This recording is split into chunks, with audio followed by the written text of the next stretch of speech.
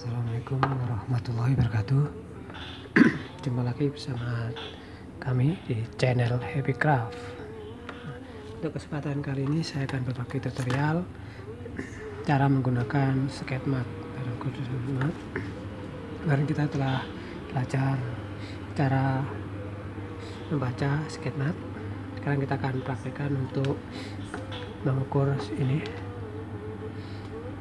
Ini adalah tutup pipa biasa disebut dop. Nah untuk mengukur pipa kita bisa menggunakan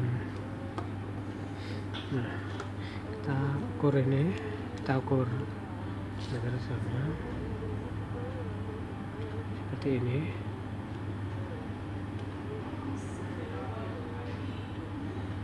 Nah, ini setelah apa? 25 26 27 yang presisi adalah 50 berarti 27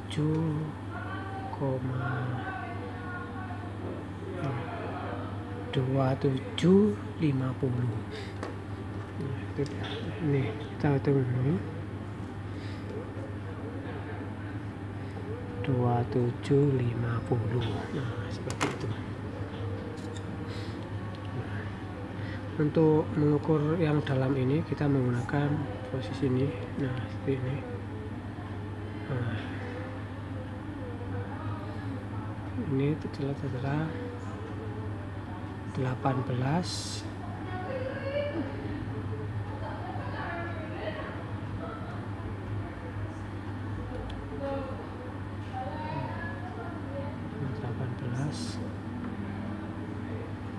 50 ini. Di dalamnya 1850 nah, terus untuk mengukur kedalaman. Nah ini adalah kedalaman luar tingginya. 19 kita cari mana yang 50 ya. 1950 nah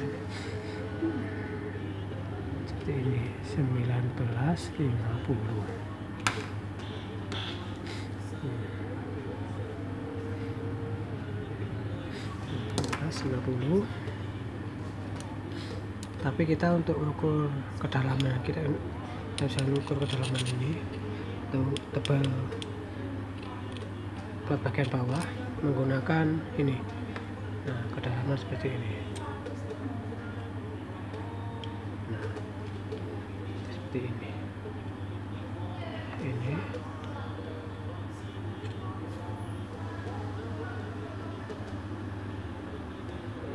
Oke seperti ini ukurannya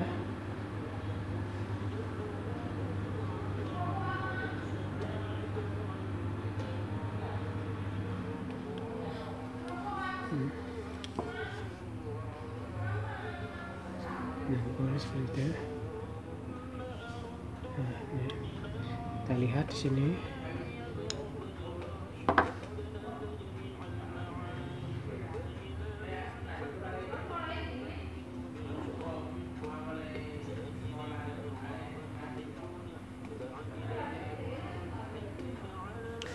Delapan belas ya eh, tujuh belas. Tujuh belas. Sini ada ketebalan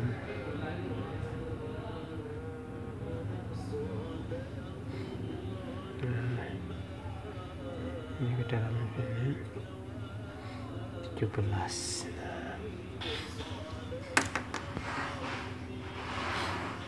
oke.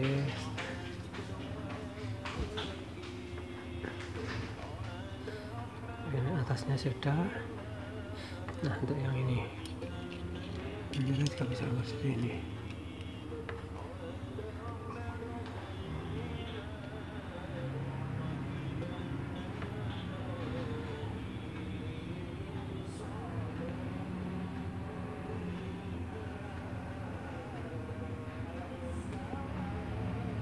bentar kurang fokus. Nah ini ya. Nah, ini 25 50 25 50 hmm. 25 50 ini tadi atasnya ada agak lebar atasnya tadi 27 27 50 nah, seperti teman-teman cara menghitung uh, cara menggunakan jangka sorong. Nah tadi yang luar ini untuk mengukur diameter luar ya.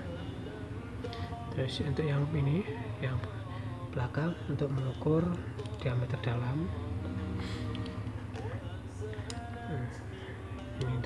ketebalan seperti ini. Untuk kedalaman ini kita menggunakan seperti ini.